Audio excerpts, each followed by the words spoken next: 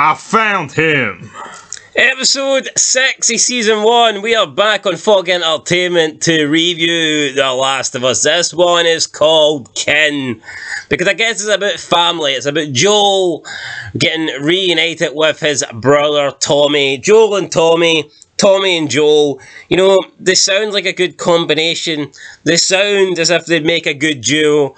But in all honesty, I mean, across the, the game and the TV series, very, very, very, very little happens with Joel and Tommy. Tommy played such a small part in the in the in the opener of both the TV series and the game, and then like twenty years later, you get a time skip, and he's like this non-existent, long lost brother. It's, Yeah, I think the, the, I mean, if we're going to dedicate an episode to Frank and Bill, can Tommy not get some of that love? Yeah, could we not have seen some flashbacks? We've heard a lot of talk about the things that Joel and Tommy have done in this world. Can't we see some of it? Couldn't they show us some of the things Exactly. that Joel, Tommy, and Tess all done? But no, we never get that. Like if a tree falls in the woods, but no one's around to hear it, did it really fall? Yeah, that's. I mean, I think we could have seen some good flashbacks, but we haven't had that. Anyway, speaking of flashbacks, we see We got flash forward. Well, we got flash forward. We see Henry and Sam um, dying again, essentially, and then it's three months later, and uh, we are three months after the death of the two brothers. I'm loving the snow. I like the snow. I feel like it's done really well here on Marlon and Big Florence's cabin. Yeah, so we're introduced to we're introduced to a new character, Marlon. He's a Native American man, and since he's Native American, I believe that means that a he's allowed to stay. He's allowed to marry into the same race, and b he's allowed to be straight. Because let's be honest, you don't get very many gay Native American men that that marry um, black women. So No, you definitely if he don't. was gay, no, I mean like what. Black men. Like, I mean, how unrealistic would it have been if Marlon, right, this Native American man, walks into his cabin, rabbits over the back, and there's some big black guy in the kitchen called Duke, you know what I mean, preparing the dinner? Two things, right? It would, it would have been fucking shit. But no, at, least Marlon was allowed to have a fellow a Native American wife. So Marlon and Florence, you know what? I kind of enjoyed the characters. There was some witty banter. But a lot of people are saying this is the best part of the entire series, and I'm, I'm just not seeing it. I'm not buying it, right? But Marlon, played by a guy that was in Die Hard 3, so automatically it's a bit over. I believe he was also in the Green Mile. Yes, he was. I think he was the first But- person to die in the Green Mile. But see Florence, right? How's she that size in Apocalypse? He's not bringing back big rabbits. He's bringing back wee rabbits. Yeah, if people are going to bury Kathleen, if people are going to make fun of Kathleen for her size, then it's only fair to make fun of Florence, who's How's fucking that fat. supporting her, man? Rocking Yeah. back and forth. So What? Let's get on, Florence. Joel's holding him at gunpoint. Joel tells Marlon that he wants to know where his brother is, and he better point to the same place as Florence. Uh, Marlon then tells, asks Florence, "Did he tell them the truth?" And she's like, "Yep." And he's like, "Well, are you telling me the truth?" And she's like, "Yep." So again, that was funny. He points to the same place. He wants to know where his brother is. He wants to go west, but they advise him not to. They talk about how he'd have to pass the river of death, and that that's not a good idea because anything on the other side of the river of death is basically a place you don't want to go. But Joel's Hence like, the name. Joel's like, you won't scare me. Ellie says the couple's about a thousand years old. And I mean, that's pretty much it. Joel takes off. He gets outside. He has a brief panic attack. I I don't understand why Joe is taking so many panic attacks. Yeah. panic attacks, or is it like a heart issue? Look- I'm almost led to believe it's kind of a heart issue. I mean, I, I get he's 50 odds, but in the game, he was never seen as frail. Yeah, He was, ju- he was just never seen as frail. Like, He's not even like strong at one point in this fucking show. Wait, but the game kind of almost like portrays him. Fucking the game portrays Marlon in better condition. Uh, Well, that's the thing. If I mean, if Marlon and Joel go one on one here, I'm not convinced Marlon doesn't beat him. Anyway, then um, Joel and Ellie continue on. Ellie steals one of the rabbits. They they have a campfire. Joel talk they talk about what they're going to do after, you know, this is all back to normal, or if it ever if they finish their mission or whatever, and Joel can go and lead a life. Joel says he'd have to he'd like to get a farmhouse and have a ranch, and he would like to raise sheep. So it's going to be Joel and a bunch of sheep. Bit weird. But each to your own. Kind of just sums Joe up though. I think in this show he seems very depressing, and therefore he'd be alone Is on his wee ranch with his wee sheep. But he says sheep are quiet and, and they do what you tell them. And he kind of looks at Ellie as a hint to say, Shut the fuck up. Yeah, I wish you were a fucking sheep. Um, Ellie then talks about how she wants to be an astronaut, and her favourite astronaut is Sally Ride. Uh, I mean, she says this is the greatest name for an astronaut ever. I think Buzz Aldrin's better. I think Buzz Aldrin's better. Neil Armstrong's like the, the over guy, but Buzz Aldrin just has a fucking. Buzz, buzz, buzz, Lightyear to the rescue. Sally Ride, I mean, I guess Ride. I'm riding in, Sally's riding into space, but I mean, Buzz Aldrin. Buzz, Buzz, Aldrin. Buzz Aldrin's Buzz Aldrin. I said it, Buzz Aldrin. Um, That's Jo- right, ain't it? Joel awakens in the morning. He was supposed to keep watch, first watch and second watch, but he fell asleep. Ellie's keeping watch. Joel's annoyed, tells Ellie, if this happens again, wake me up. Um, they then, like, pass the river of death, and uh, I thought it was strange because this place was made out to be a no-go zone, and there was just nothing there, apart from an actual river. And I, I feel like there's just a lack of anything happening in this show. I'm not saying it's crap, but there, there's a lack of infected. There's a like a lack of bandits. There's a lack. There's just like there's a lack of anything happening. There's a lack of danger. But see, is that because the game has just filled it? Because it has to be because it's a game? Or could the show have met it halfway? I think I, I get it. The show. no infected in this episode. Look, a show can't be the same as a game. I get that. You know what I mean? You can't have like oh tens and thousands of infected. But I, I think the show is way too. Uh, there's la- there's a lack of anything in the show. Like, could we not even have got Marlon like killing those rabbits, like shooting them? That would have been a bit of action. In the game, it kicks off with her Ellie shooting a rabbit in winter. yeah, That would have been a nice wee. I just, I just think a lot of the times it's Joe and uh, Ellie and Joe walking about and there's not a lot happening. Anyway, they get confronted by this group. Um, they, group. The Jackson Five, even though there's more like fifteen of them. The leader, they've got a dog. and says if you're infected, this dog's going to chew you to pieces. The dog looks at Joel and doesn't do anything. Then the dog looks at Ellie and starts barking. Joel thinks the dog's going to start chewing Ellie because she's panic attack. infected. He has another attack, but then he looks around and Joel, uh, Ellie, and the dog are playing. So Joel then talks about his brother, how he's looking for his brother. Then some black woman asks for uh, the name of his brother. She turns out she's the leader of the group, of course. And um, he says his name is Joel. So then she ends up taking Joel and Ellie to Jackson. Joel arrives in Jackson, where he's reunited with Tommy. So Tommy and Joel have this embrace, they hug. Um, they then sit down with Tommy and Maria.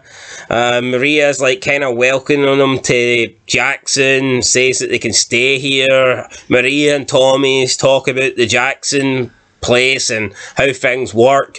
Joel then asks Maria if he can have some family time with his brother, and then Tommy's like, "Well, actually, Joe," and he, Tommy points at the fact that him and Maria got married.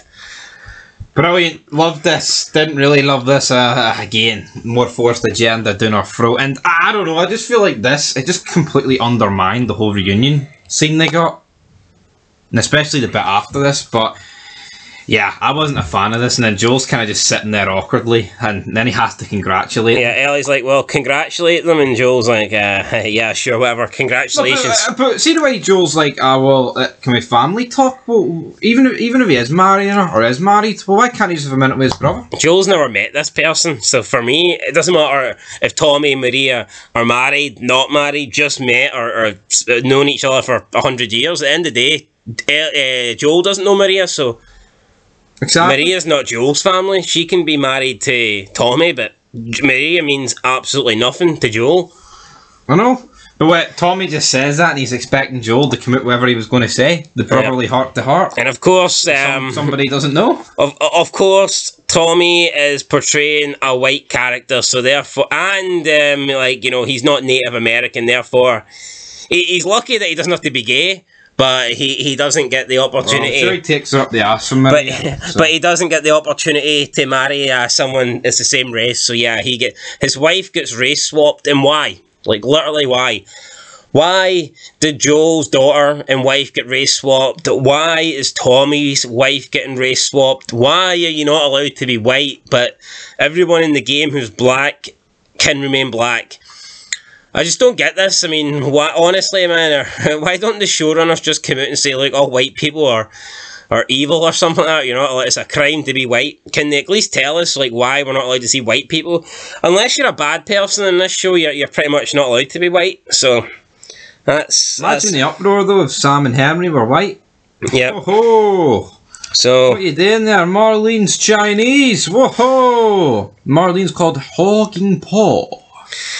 Uh, Tom and Maria take them on a tour again. I, I just feel like Maria was overstaying her welcome here. Yeah, it's like just fuck off, Maria. And Joe, and you can just see like in Pedro Pascal's face, he was like, "Would you piss off?" Yeah, um, then then finally she takes Ellie away, and Tommy and Joel get a bit of brother time.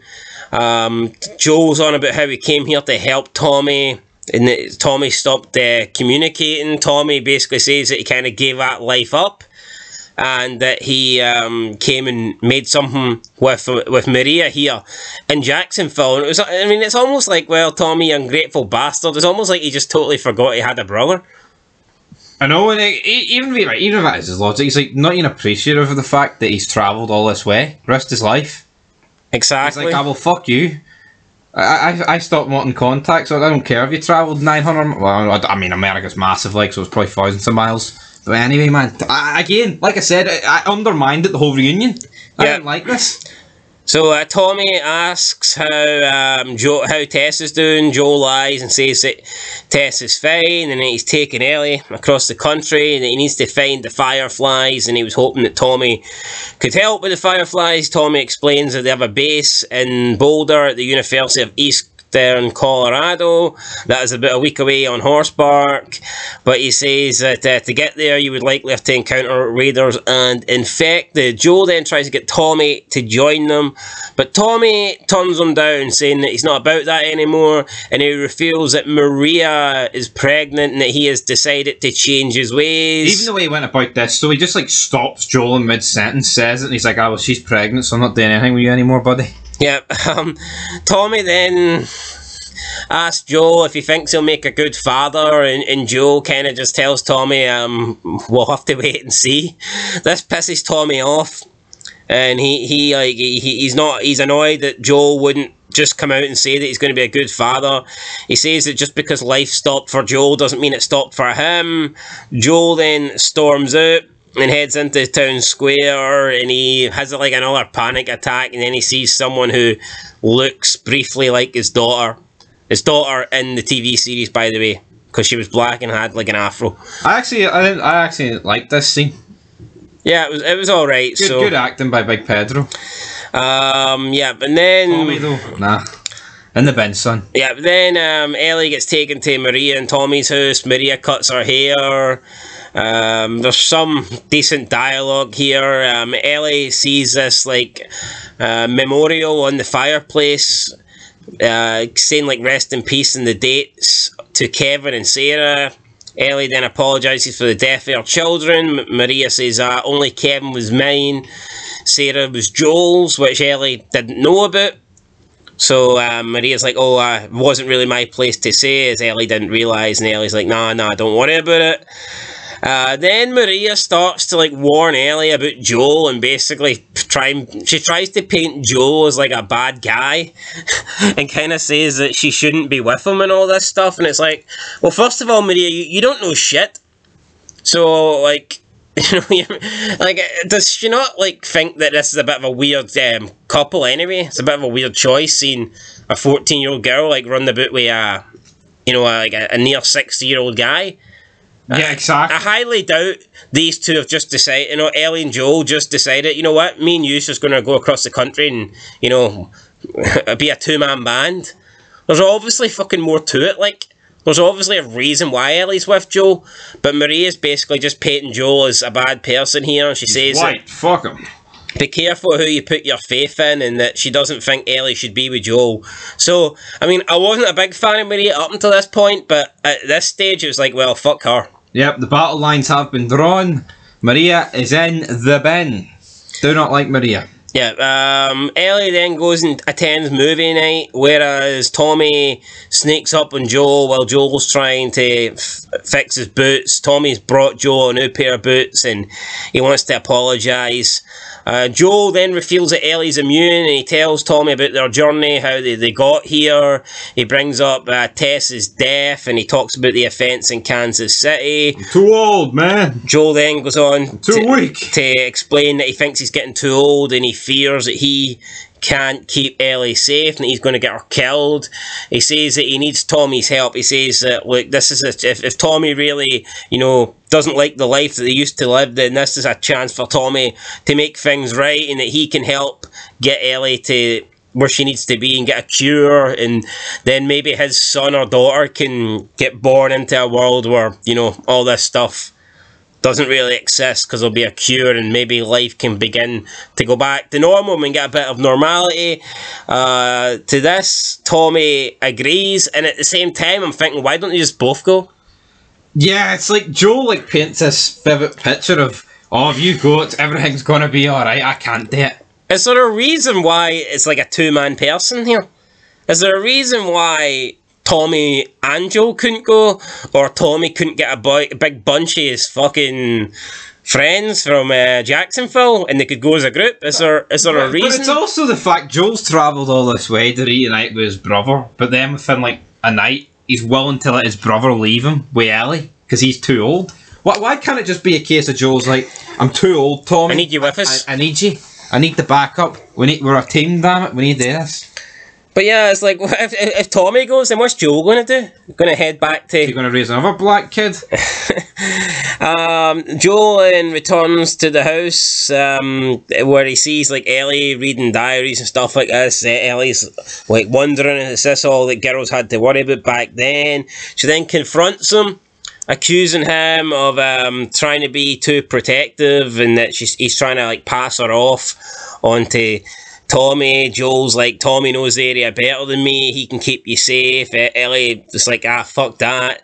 Then she brings up Sarah, and then like they reenact one of the probably the most one one of the most important parts of the game, and I just don't think the TV series done it justice.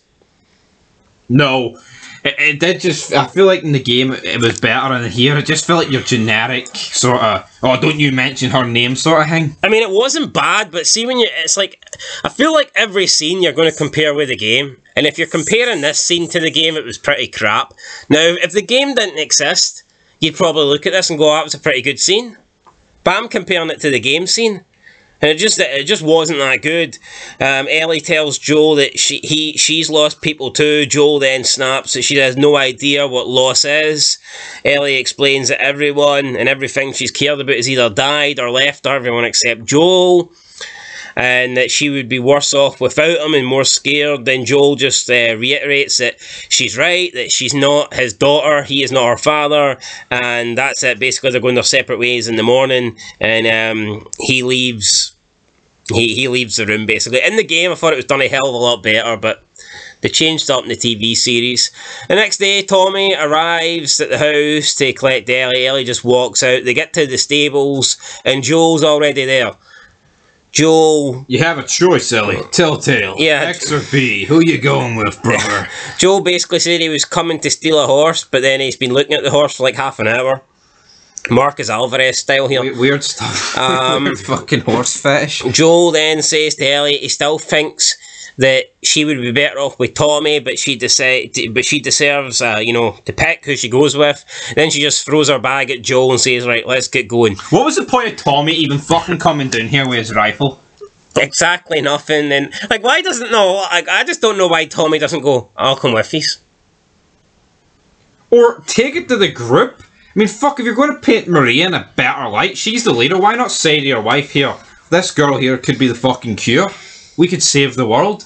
Is this not a mission we can, like, risk people on? Rather than, ah, Joel, you take the horse, I'm here for the crack, son. Right. See in the game, right? E- Ellie, when Ellie, they do it differently. So Ellie kind of runs off, and then when Joel and Tommy like catch up her, they have that, oh, you're not my daughter, you know, debate argument scene, and then bandits arrive. Like, couldn't they have done something similar to that, where maybe Tommy was going to go with them, but he got shot, or maybe Maria gets shot, and Tommy's like, I can't leave. Could we not have had something here, a wee bit of, of action, like? Yeah, I know, it's just very weak in my opinion. It's just like they reunite.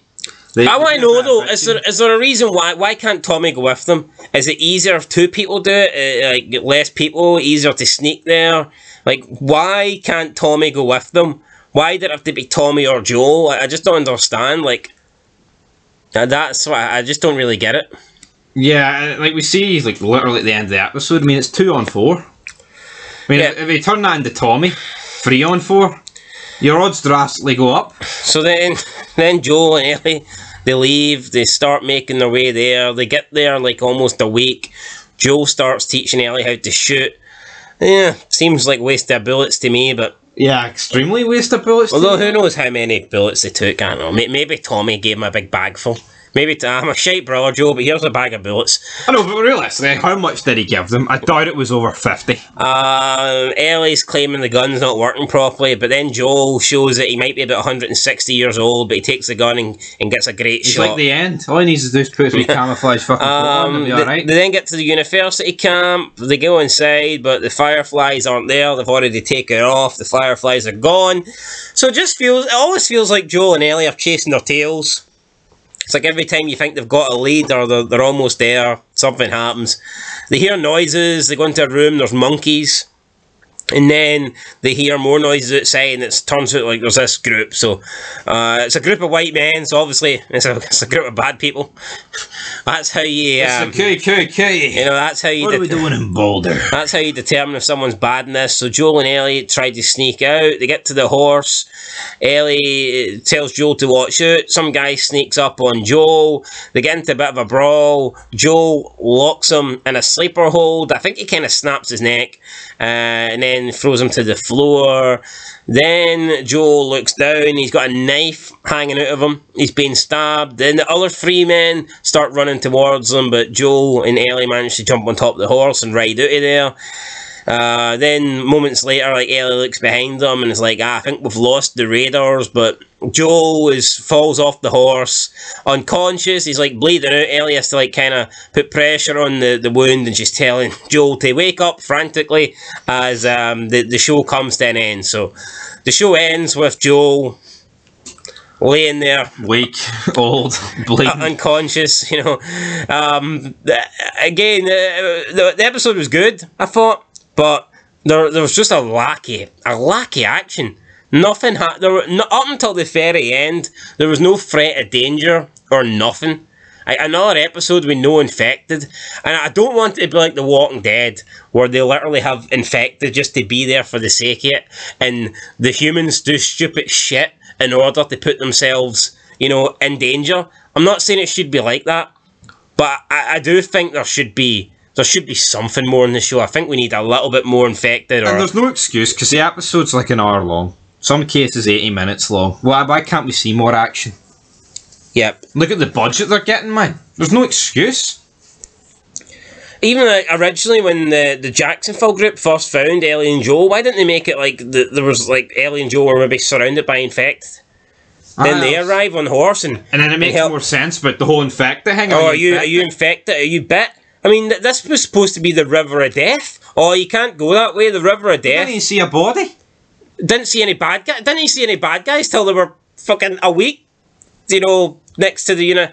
So until they already went on their next journey, until they went to Boulder. That's when. They, so like the only people that Joel and Ellie encountered in the so-called like river of death that oh don't go west you'll die if you go west Uh, and the only thing west was the Jacksonville group there was no infected there was no bad people no bandits no nothing I'm going to give it a 7. I mean not even the River of Death. Nick, I thought they might have had a scene where maybe Ellie falls in the river and she can't swim.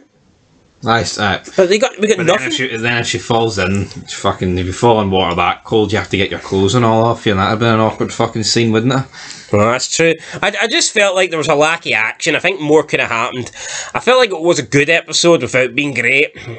Uh, so- I feel like they didn't utilise Tommy. They made Joe look very weak, and there was a lot of woke in there, so I'm giving it a seven. it was an hour long and not a lot happened. Yeah, literally. But I'm going to give it an 8 since you gave it a 7. 7.5 out of 10. That's our rating, guys. Let us know what you think down below. And uh, yeah, just three episodes left. So season 1 is literally flew in. I don't think they're doing the game justice. I mean, I, I don't think it's a bad show, but the thing is, I think the game's a masterpiece, so it's never really going to live up to the game. And if I feel like every big scene or every big change that they have from the game is for the worse. I don't think any. I don't. I haven't looked at the show and thought, "Wow, they did that better in the show than they did in the game." I feel like every big decision or every big factor or every big scene, they, they, they don't do it justice. So, yeah, seven point five out of ten, guys. Next week, Left Behind probably feature a lot of DLC stuff. So we'll see. Anyway, that's it. Till then, till next time. Leave a like, leave a comment, subscribe, and I'll catch you in the next one. Peace.